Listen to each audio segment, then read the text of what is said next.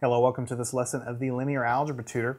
Here we're going to tie it all together. I've hinted over and over again that the concept or the way that I taught you to find determinant of 3 by 3 matrices by just going through that first row and, and doing it that way and the cross product of the vectors, I told you that was a subset of a broader thing. And here I'm going to tie all that together for you.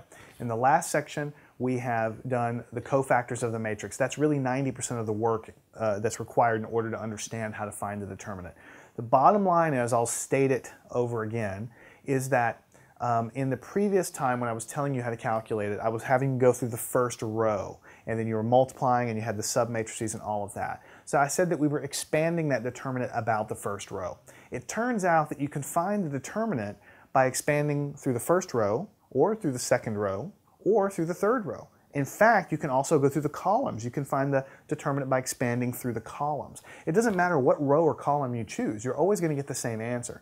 For a given matrix, there's only one determinant. There's, there's no way that you can have different determinants. If you, if you accidentally calculate a determinant with a different value, then you've done something majorly, majorly, majorly wrong, like a computational error or something, because any matrix should always have the same determinant as an answer.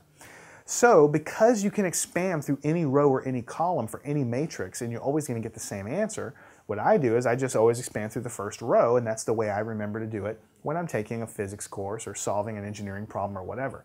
But in this class, your professor's probably going to ask you, find the determinant by expanding through the fourth row or find the determinant by expanding through the second column. So you need to know how to do that.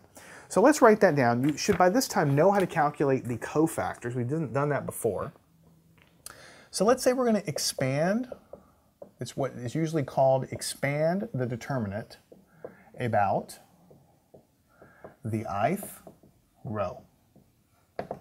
About the ith row, or through the ith row, however you want to write that. And I shudder to write this down because it's not terribly clear, but part of, part of the challenge of linear algebra is for a student to chop through uh, how the book is written and, and read the symbols and understand what it's trying to tell you. So I'm telling you in layman's terms, so you're just going cutting through different rows and columns, but you need to know how to read it. So I'm going to write it down how you might see it in a book. The determinant of some matrix A is typically expanding about the ith row would look something like this. A I1 times the cofactor I1 plus A I2 times cofactor I2 plus da da da da. So I uh, 3, cofactor I3, and so on. Now this, if I showed you in a book, most students probably wouldn't understand what that meant at first glance until you really studied it. All this statement is telling you is that you can find the determinant by expanding about any ith row you want, either row number 1, row number 2, row number 3, if you have a really large matrix, row number 5, or whatever.